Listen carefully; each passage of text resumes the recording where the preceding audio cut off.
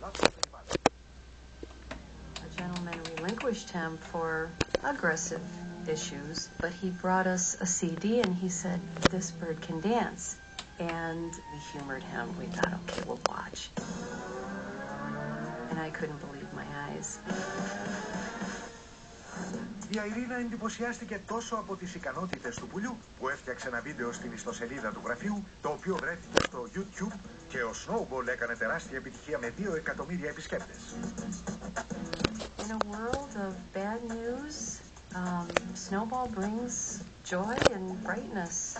What is most outrageous about Snowball is that he actually adjusts his dancing to the tempo of the music. If you play a slower tune, he will actually try a different dance step. or if it's a little bit faster, he'll attempt something else. Snowball likes a heavy 4-4 beat, real hard and steady. Syncopation, mm, no. The other day, we caught him dancing to German polka tunes. He seems to constantly reinvent himself. He sways his head. There are times that he rotates his head all the way around. He came up with a new dance step where he's blowing kisses in time to the music. We really think that he's a little human trapped inside this body.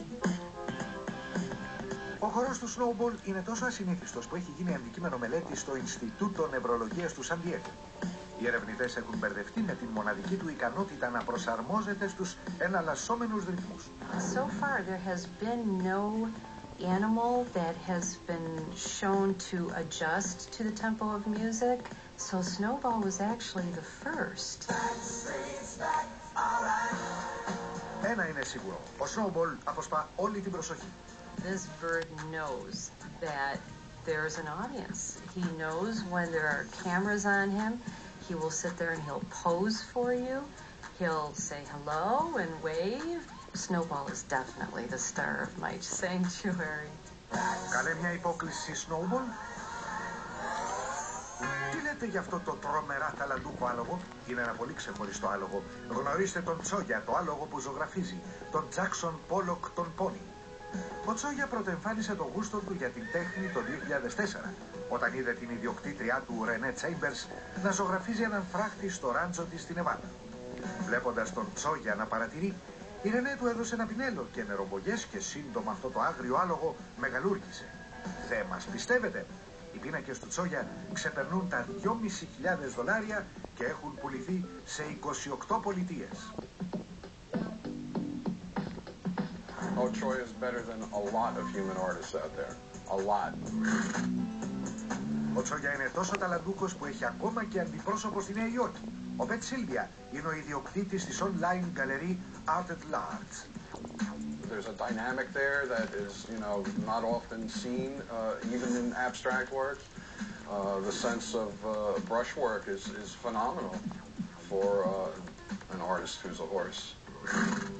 This painting is called Equine Erection Number One. I asked uh, his owner, well, what caused you to give this particular work that title? She said, well, he, he kind of looks like that when he paints. I was like, so he gets excited when he paints? And she says, yeah, a little bit, he does. So I said, well, there you go.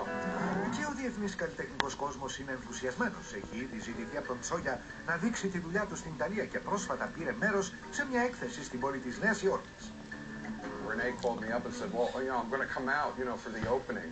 And I was like, well, you know, we have a freight elevator in the building. Um, you know, I'm sure we could get the horse up into the gallery. It would kind of be fun to do that. Οπότε ο διανοούμενος καλλιτεχνικός κόσμος υποδέχεται τον Τσόγια με ανοιχτές αγκάλες. Αλλά είναι ο μέσος πολίτης έτοιμος για λογίσια τέχνη. A horse did this? Well, he has good taste in color. These sell for upward of $2,000. You're kidding. This one, he was angry. He was like, get the brush out of my mouth. I'm done here. We got three horses at home. I'm going to get him started. Cholla's paintings are the best paintings done by any animal on the planet. To all the serious art people out there that say, you know, an animal can't possibly be considered a fine artist. Hey, you know, who are we to judge?